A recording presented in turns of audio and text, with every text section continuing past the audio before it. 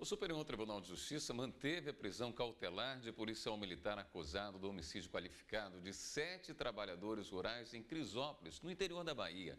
Preso há mais de dois anos sem julgamento, o militar teve o pedido de habeas corpus negado por unanimidade pelo colegiado. Na tentativa de provar a ilegalidade na prisão do policial, a defesa recorreu do entendimento do Tribunal de Justiça da Bahia, que negou o habeas corpus do acusado por considerar que o crime cometido por ele foi grave e chegou até a chocar a sociedade.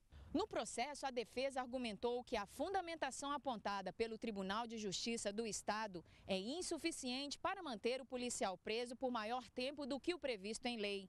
O Superior Tribunal de Justiça também negou o habeas corpus. O relator desembargador convocado Campos Marques considerou que a prisão do policial está baseada no fato de se tratar de uma pessoa perigosa que cometeu um crime grave.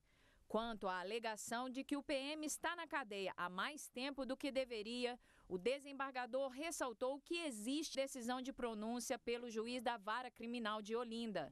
De acordo com a súmula 21 do STJ, quando o réu é pronunciado, não há que se questionar constrangimento ilegal por excesso de prazo.